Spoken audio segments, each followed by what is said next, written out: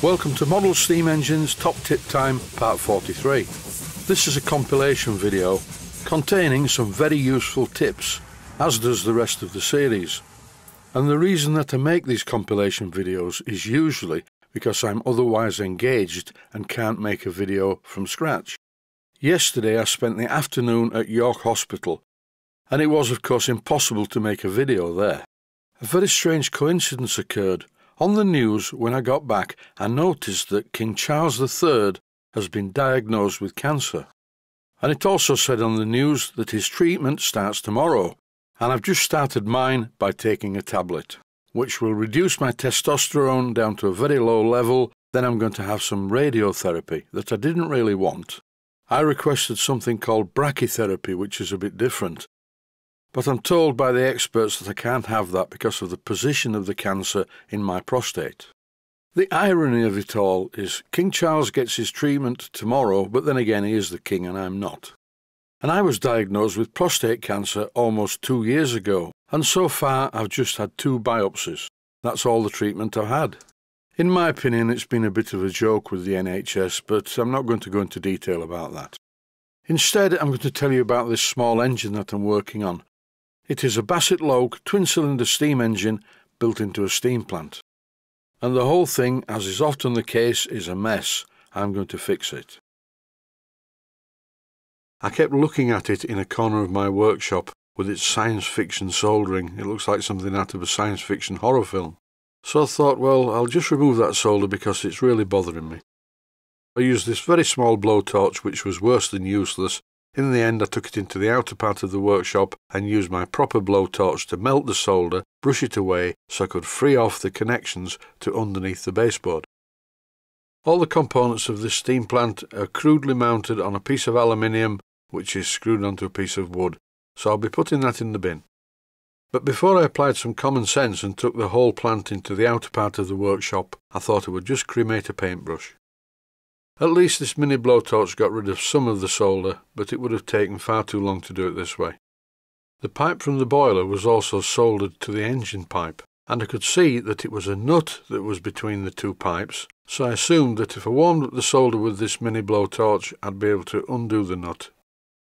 And indeed, once the solder was melted, the nut did move, so I started undoing the nut and then I realised that this nut was damaged, that's why it had been soldered, because the entire side of the nut was cracked. You can see this clearly in the clip that's currently on screen.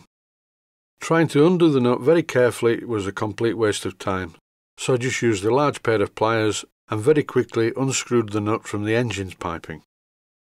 So eventually the engine was separated from the baseboard and here it is on the bench. The first thing to do, flood it with oil. It's anybody's guess how long it was since this engine last ran, so treating the engine to a copious amount of machine oil is a good idea at this stage. I'm trying not to miss anything out and the oil's going everywhere, which is not a problem because eventually this engine will either go in the bin or it will go into a bath of cellulose thinners, which is known as lacquer thinner in the USA. And the reason that the engine is going to go into a bath of lacquer thinner, or cellulose thinners as it's known in the UK, is to remove all the paint. It looks like it's been painted with a tar brush, but first of all, I need to make sure the engine works, because if it's beyond economical repair, it's really not worth working on. I'm not a clairvoyant, but I did know that this was not going to work. I knew in advance it was not going to work just because of the way it was painted. Look, a red flywheel, white round the outer edges, nice red ends to the cylinders, and it gets worse. The generator that was mounted on the baseboard is painted bright yellow and bright red. So anyway, back to the engine. It doesn't work at all. The engine's timing is nowhere near where it should be, so I'm putting this right. And just for the record, the larger lobe of the eccentric should always be at the 90 degree position relative to the crank pin. And on a twin cylinder steam engine like this one, the eccentric on the other side should also be at 90 degrees to the crank pin, but don't forget that needs to be 90 degrees in the opposite direction to the other crank pin. Oddly enough, on this side, I couldn't find the eccentric adjustment. I wasn't thinking. I removed the eccentric strap to realise there was no eccentric. The eccentric is part of the flywheel. Now, that's a new one on me. How clever is that? So, whilst being a little bit embarrassed by being stupid and I should have known better, I refitted the eccentric strap then slackened off the grub screw in the flywheel, which allowed me to rotate the flywheel and subsequently the eccentric to the correct position to make the engine work, hopefully. Whenever you set the timing on a model steam engine, you should always start off by making sure that the larger lobe of the eccentric is at 90 degrees to the crank pin. Then, once the engine runs, or doesn't run as the case may be, you can make minor adjustments to make it run sweetly.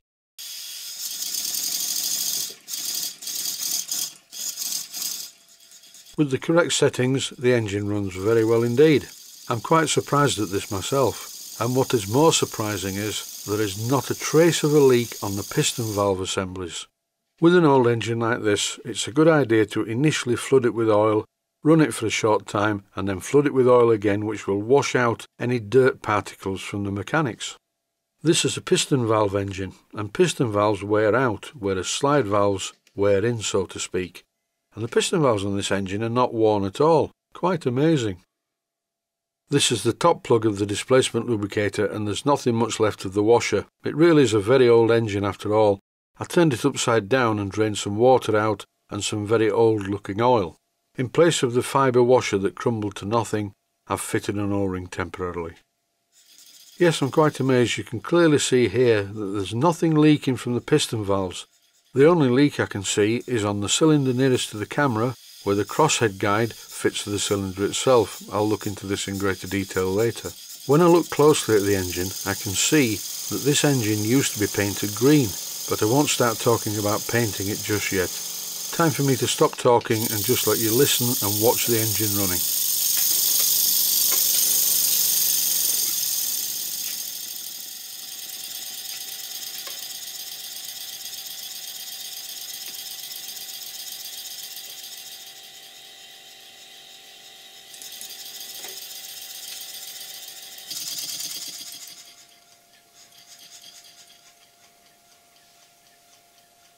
I've never really been into steam toys, but this is quite something. This is a bit more than a normal steam toy. This engine runs beautifully.